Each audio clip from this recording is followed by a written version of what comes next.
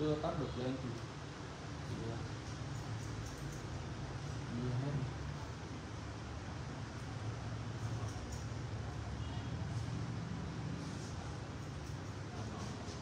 Tức là over hết lên cái cái điểm trong tóc nam người ta gọi đây là khung đúng không? Tóc nam thì bọn em cắt tóc nam nhiều em biết thì đây là đây là khung giống như khi mà bọn em đưa cái lực công đơn ngang ấy đưa là trong các tóc nữ thì nó cũng đều dựa trên nền tảng như vậy hết. Ta sẽ đưa hết lên đúng không bảo đây có phải gọi là khung viền không? Rồi chúng ta cũng vậy. Đi theo cứ đi theo cái đường chia của dòng đầu tại vì đường chia này chủ khi một anh chia nó nó phải cân. Thì khi mà em đưa theo cái đường chia thì chắc chắn là hai bên nó sẽ phải cân nhau rồi đúng không em nhìn cái trừ đấy nó đưa hết.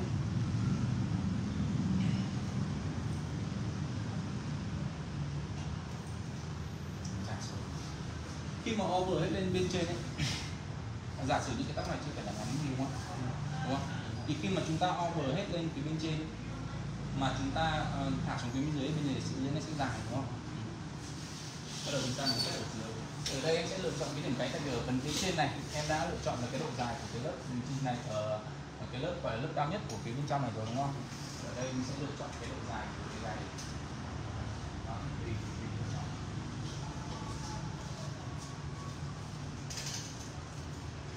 độ dài của gáy này chắc chắn với bọn em một điều là nó sẽ ngắn hơn ngắn hơn mặt bằng cái lớp bên trên này nhé nhưng thì dài hơn dài hơn nữa thì cái kích của tam giác ấy. tại vì cái khu viền gáy này chúng ta đặt nó bị dài quá thì rõ ràng là cái lớp bên trên này ngắn hơn, lớp bên dưới thì kết cấu của nó sẽ là kết cấu tam giác. Đấy, đúng không còn nếu như cái phần bên trên này bằng được cái này thì nó kết cấu vuông còn nếu dưới bên dưới thì ngắn hơn lớp bên trên này thì kết cấu nó sẽ là Gaussian Gaussian nó sẽ tạo nó sẽ là Gaussian nó sẽ tạo được bán ở phần phía dưới thì trong đầu tém cái sử dụng đơn từ rất là nhiều. Chúng ta sẽ không sử dụng layer ở trong cái đầu tém. Layer thì nhìn nó sẽ nó sẽ kiểu mà nó không có độ bám nó không có độ bám xuống. À, chúng ta sẽ phải lựa chọn cái một cái này nặng hơn cái lớp ở bên trên.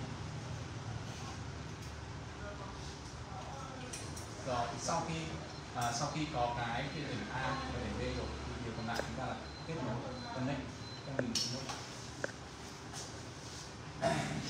chúng ta sẽ chúng ta sẽ connect nó lại với nhau. Thì có phải là lúc này phía ở giữa này nó bị dài ngoằng không? Nó dài ngoằng. À, thì chúng ta sẽ phải kết nối từ đây để loại bỏ bớt hoặc loại bỏ cái phần cái điểm đồi ở phía giữa này ra để cho nó có độ bám từ trên này bám lên đấy nhé à, có cắt bên nào thì chia gọn gàng bên đấy ra có thể có cành nó khó cắt một chút. À, chúng ta sẽ cắt theo phần hình gram nhé đẩy tóc đẩy trên cái đường chéo như này. Đúng không? Còn cái gram mà em sẽ đẩy sang. Sang bên này. Để em cắt chứ không phải em để về vuông về đây em cắt đâu nhé. Nhỏ trên cái đường chéo. Tay. Đi theo đường. Nhấc lên. Chúng ta tìm A. Nhấc lên tìm B. Nó sẽ là một đường kết nối từ A tìm B. Bỏ hết vào một cái góc vừa đi. Rồi em sẽ kết nối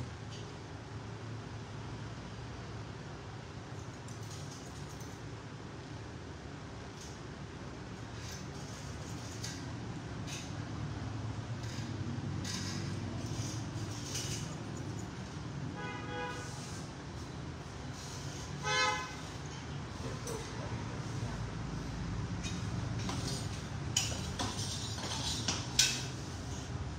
do là em đã có điểm A và điểm B ở cái, ờ, cái điểm A phía trên mình đã định, định sẵn rồi. Lúc này không đừng quan tâm đến cái thứ gì khác không cần quan tâm điểm chuẩn tại vì trong tốc kém nó ngắn lắm. Không nó cũng đưa cái điểm chuẩn sang đây để các em nhìn rõ em cắt đâu trừ khi đánh em cắt cái em nó hơi dài hơn một chút nhé ở đây em đã có A rồi. A ở đây rồi ở đây có đây rồi. Thì em cứ việc là bắt những cái đường chéo để ghi nhận cái đường chữ cái kết nối nó thôi. đừng quan tâm đến là à điểm chuẩn ở đâu nữa.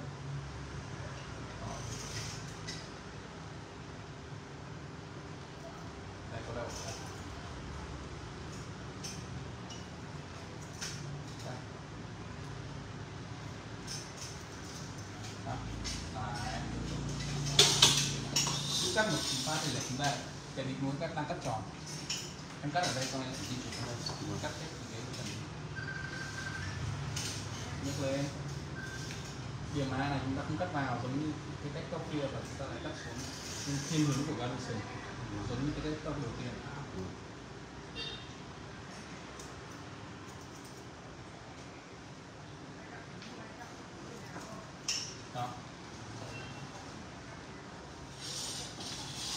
khi cắt xong thì sẽ được chất lại một chút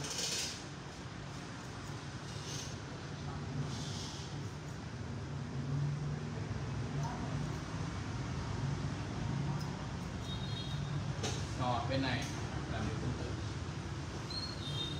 Rồi bên này thì xong.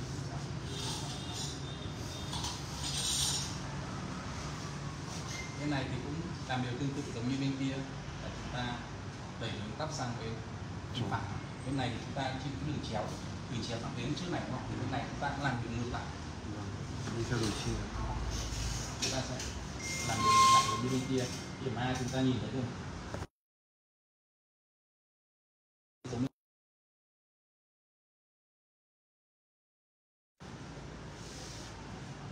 chéo tiếp đẩy tóc ra phía một chút. Lại cái này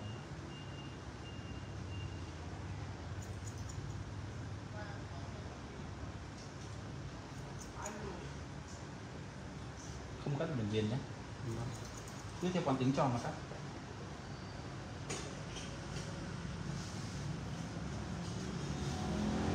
Cái này cũng nó chính là cái đấng nam đấy nhưng mà bọn em cắt cái đầu xe bát xe củng ấy cắt ở dưới nó bán ấy, nó sẽ đi được rồi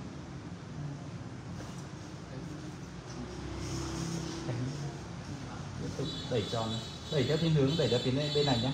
Đừng đẩy về đây. Không phải là đừng đẩy về đây không là em bắt em em bắt ở đây đâu. Tức là chúng ta đẩy theo thiên hướng tròn của sang bên bên phải này. Nhìn thấy điểm A Đó.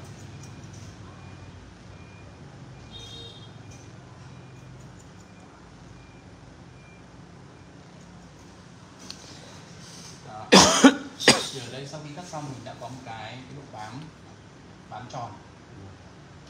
Mọi người có hình dung được không? Cái này nó sẽ theo thiên hướng là dốc xuống Galloson này nhé nhưng nó phải có thiên hướng của Galloson bám thì nó mới tạo cái độ bám phía dưới này được. Không phải là cắt layer lên đâu nhá. Bây giờ phía cái phần điểm điểm cao nhất này nó phải dài hơn cái điểm chân cái này một chút để mình có theo cái chiều là đẩy vào mình đưa vào. Rồi tiếp tục bên này cũng vậy. Chuyển góc sang bên này này nó quá dễ rồi đúng không? Nhấc hết lên. Và gì cắt theo cái điểm phía đằng sau. Đúng không? Đúng. Lên.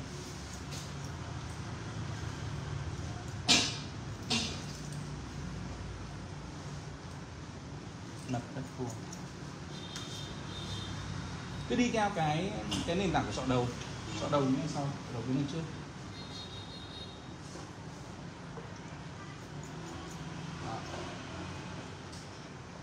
Anh một bình nữa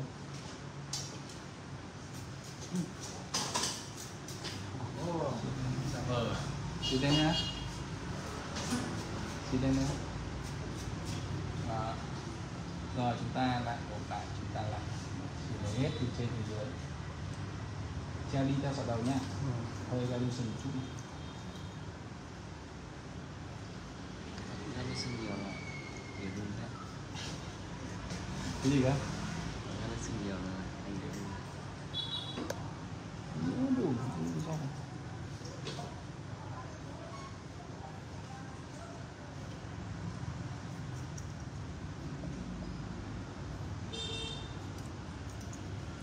rồi cắt xong rồi cứ rồi để cho chết được mang hơi dài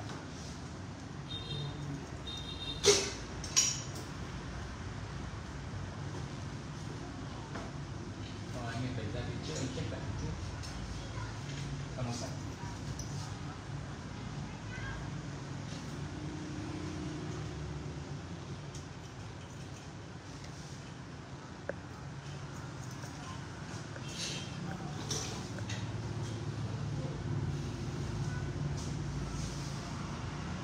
tóc ngắn ấy, thì cái cái tóc mà đếm kiểu như này. Cái bài nó rất là dễ vì kỹ năng bắt tóc thì nó rất là khó. Vì nó ngắn lắm ngắn. Nên bọn em bắt tóc làm sao cho nó sạch sẽ mà còn Để tông. Tông luôn. Tóc nữ làm sao dùng tóc nữ thì tóc nam là dùng tóc đó thì cái này là mai biết là chúng ta dọn sạch nhé đây gọi là cái tóc xấu của tóc tén đấy tóc, tất cả các tóc tén thì bọn em sẽ dọn sạch hết cái đường viền ờ, cái đường bên trong này. Cắt xong nó sẽ dài ấy, nó sẽ bị đập vào tai.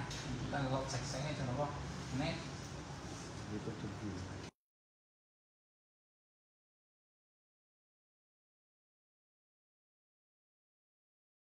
Còn xong bên này chúng ta làm cái gì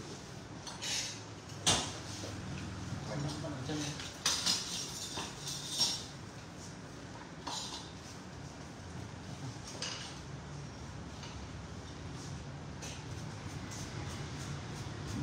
cái đầu này thì bọn em ờ, chắc là ít ít đúng không? Ờ, bên này chúng ta bên này chúng ta cũng làm được tương tự. Em biết là trên nối bên sao? Sao biết? em chưa được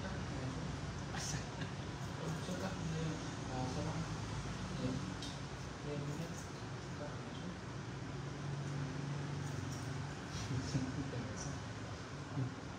ok, có điểm trên rồi. Chúng ta lại tích mấy phần nguyên hướng mà hơi gây sử dần tiếp làm sao cái sau đầu ấy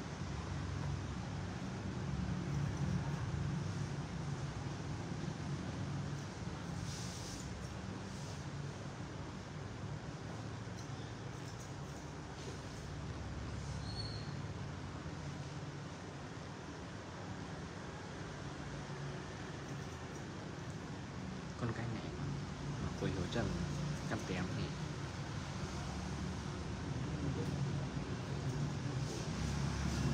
đuôi tay mắt ôm lại đấy đi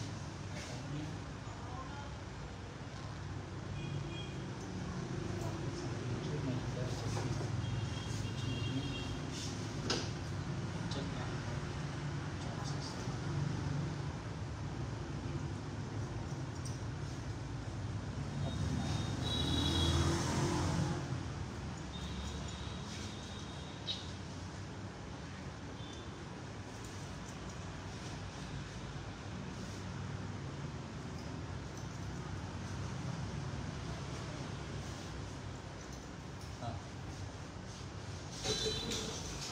Thì họ- cái tóc tèm trong cái cách tóc càng ngắn ấy nó sẽ một cái tóc mà ở phía dưới này. Nó sẽ bị đặc dụng mọc nó đập vào tai để bọn em quét hết đi cho anh nhé Ừ. cái mai này là anh đang cắt theo tỷ lệ của chậu đầu. Còn bọn em có quyền là để cái mai dài hơn nếu như bọn em muốn. Nhưng mà thường thường cái đầu mà sót tén kiểu PC như này thì mình sẽ dùng mai dài. Nó không đẹp đâu. Nó không như là cái tén nhật hàn đâu. Ừ. đó, thì chúng ta cắt đi cái tóc xấu bấm cái này thì sợ tai cái gì một một một cái này chỉ sợ là của tai cái gì sao? nếu con này phải tông xuống tông châm hoảng ví dụ mình mình muốn để gáy dài thì mình chừa gáy ra rồi. Chưa gáy anh Để- để gáy dài. Đây là big C nó liên quan liên quan đến việc là tóc tén gáy dài cái dài thì nó lại phải cách tén khác. Không có quyền lựa chọn ở đây. Đấy, chúng ta kiểm tra lại. rồi. Đến bên trên bên trên sao đây? Ai có ý tưởng gì? Đang cắt cái C đến cái này. Bên trên à, bên trên này sao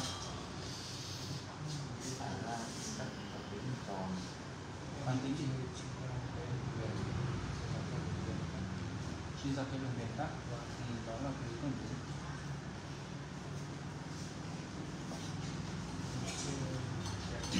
thứ ba Đây, em đang cắt này.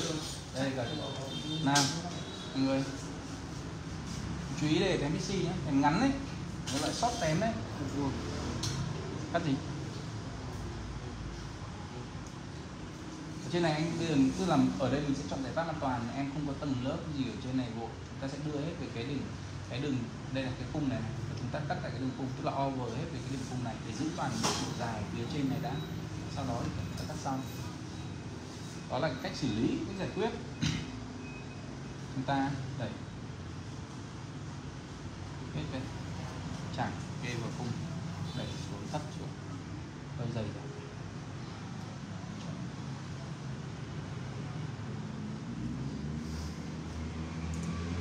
này, có cái khung ở phía bên trên này đúng không đúng không chúng ta đẩy đẩy, đẩy cái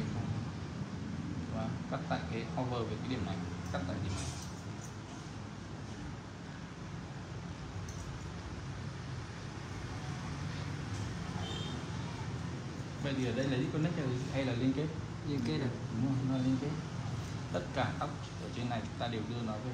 Nó cắt tại nó. Thì có phải là phía trên nó dài không? Có. Ừ.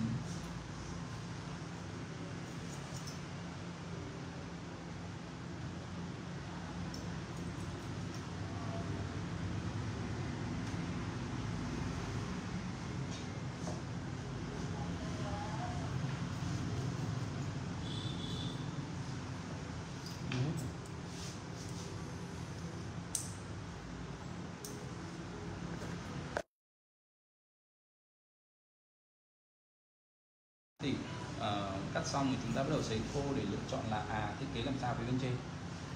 Cho nó đẹp với cả cái cái tóc đó. Tém này có khi là nhiều bài nhất này ừ. nhiều gì? Nhiều ờ, nhiều kiểu tém nữa cái này cái si đấy. Giống như cái bài mà Easy Bullet mà lúc trước mà cắt đấy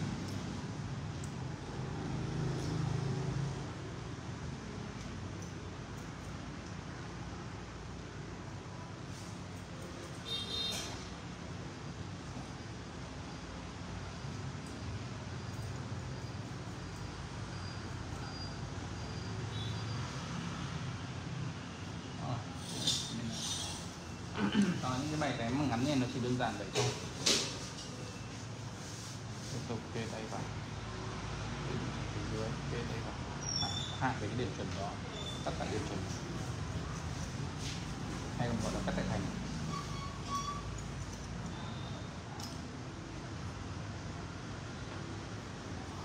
Ví dụ như phần trên này bọn em muốn dài hơn thì em đặt cái thành ở phía dưới nó nó thấp thôi. Chừng đặt cao như thế này. Nhưng ở đây là em cắt thành nó thành PC rồi thì nó sẽ cao dài hạ thấp xuống Vậy thì cái bài này là nó có liên kết đấy nhé. Không có như cái bài đó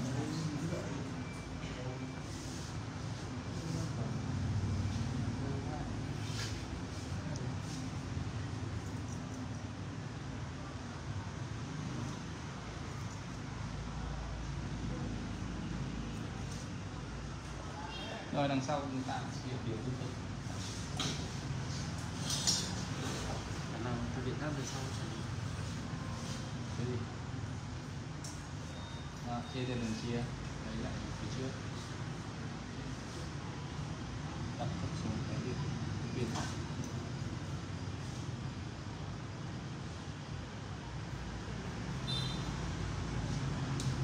đưa hết nó tay đưa theo yêu còn tính tròn ai tinh thể Yêu. Yếu người xem người ta khó chịu mắt không vui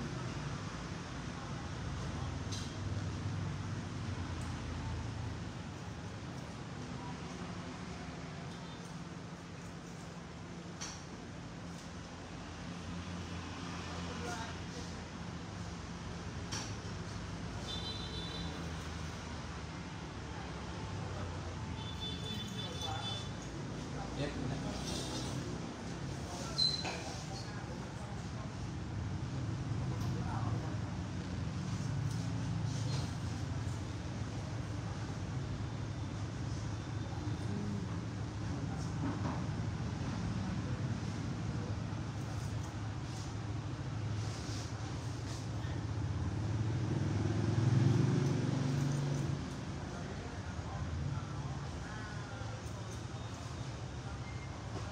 Quay đây em bây giờ khuyên bài vào đây mình xem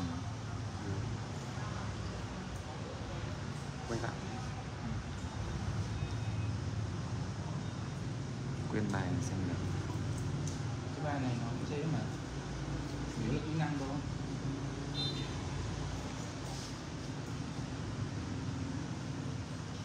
đồ này hay còn gọi là những cái đầu tôm boy đấy. Nó khác nhau vị trí đặt cái uh, phía dài bên trên.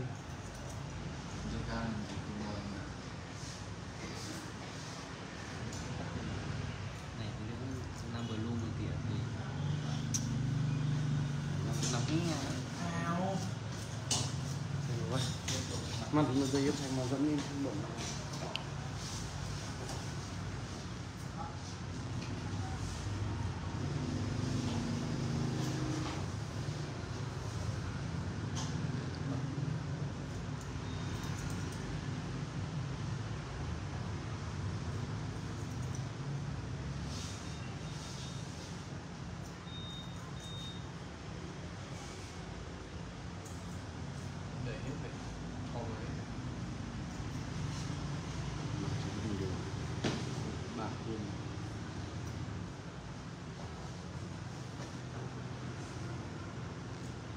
rồi sẽ phôi cho em